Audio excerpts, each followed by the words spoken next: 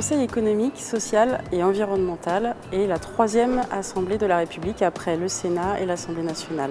Cette assemblée réunit l'ensemble des représentants des principales organisations de la société et travaille à conseiller le gouvernement et les acteurs publics. Aujourd'hui, le sujet que nous sommes amenés à traiter concerne l'orientation et l'orientation des jeunes. Pourquoi ce sujet-là? Parce qu'il nous semble qu'au moment de l'orientation et des choix qu'on est amené à faire, l'orientation telle qu'elle est construite euh, aujourd'hui est génératrice de stress. Génératrice de stress parce que les choix qu'on fait ne nous permettent pas de revenir en arrière et que les choix qu'on fait déterminent énormément de choses dans notre vie personnelle et professionnelle.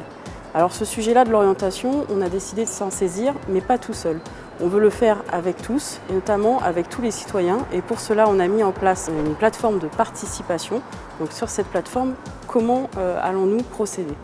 Alors cette plateforme sera disponible à partir du 8 janvier. Toutes les contributions seront lues, seront synthétisées par le Conseil. Nous nous engageons également à ce que les 60 contributions les plus importantes, celles qui auront eu le plus de succès, soient euh, l'objet d'une réponse de la part du Conseil économique, social et environnemental. Nous nous engageons également à ce que au moins quatre contributeurs de propositions qui seront reprises par le CESE aient la possibilité de le présenter en plénière lors de la présentation de l'avis.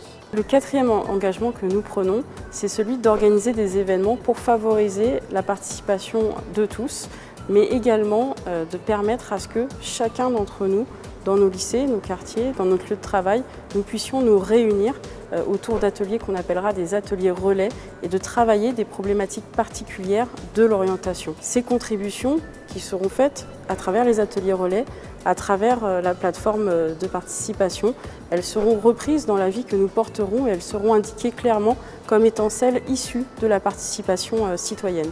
Et puis, en même temps que l'ensemble des travaux du CESE, nous nous engageons à ce que ces contributions-là que les citoyens seront amenés à faire soient portées auprès du gouvernement et auprès des acteurs publics et de l'orientation pour qu'elles puissent trouver un débouché concret dans les mois euh, à venir. À partir du 8 janvier, vous aurez la possibilité de participer à la consultation citoyenne organisée par le CESE sur l'orientation des jeunes sur le site participer.lecese.fr pour contribuer à la réflexion collective et au débat démocratique sur une question qui interpelle toute la société.